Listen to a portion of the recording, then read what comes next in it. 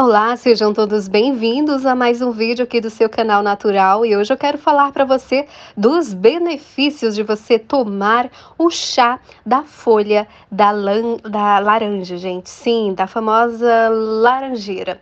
Bom, o primeiro benefício que me chamou bastante atenção é que ao tomar este chá, você proporciona um efeito super calmante e também relaxante aí.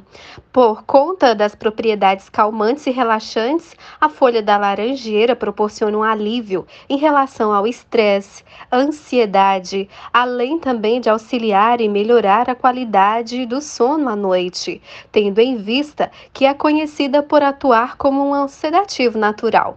Algumas mamães chegam a dar chá da laranjeira para os seus bebês, mas muito cuidado. O recomendado é apenas para maiores de 6 anos. Bom, também pode ter um efeito super afrodisíaco.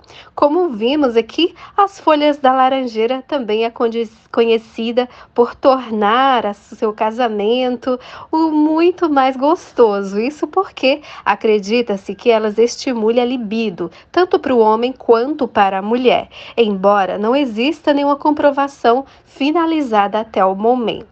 Outra coisa, gente, também pode ajudar a aumentar a imunidade. O chá preparado a partir da folha da laranjeira é conhecida também por estimular o sistema imunológico, auxiliando ao sistema de defesa do organismo humano, mantendo você longe de vários tipos de bactérias e fungos. Bom, pode também ajudar o seu sistema digestivo. Confesso que essa aqui eu já sabia, e você?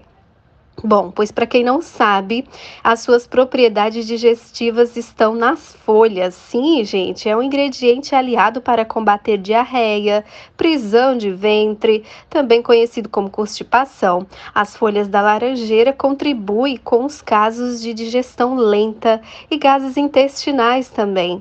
Também ajuda a combater cólicas estomacais, devido ao fato da folha da laranjeira ser dotada de propriedades antiespasmódicas Acredita-se também que o ingrediente seja capaz de contribuir no combate de cólicas estomacais. Também pode aliviar dor de cabeça e até mesmo a febre. Se tem sentido dor de cabeça constantemente, pode ser uma ótima dica natural para combater o problema. Além disso, também é atribuído o ingrediente o benefício de ajudar a diminuir a febre. Ajuda também a combater retenção de líquido, principalmente as mulheres sofrem com esse problema né, gente? Então, se você tem retenção de líquido, pode ser um excelente aliado para você. Também auxilia no tratamento aí de problemas de pele. Sim, gente, como fungo nas unhas, passando o chá no seu dedão do pé, você vai conseguir remover fungos, entre outros, que pode incomodar bastante. Gostou da dica? Conta para mim nos comentários que hora esse vídeo chegou para você. Aqui para mim são exatamente 13 horas e 20 minutos. Conta para mim aqui abaixo.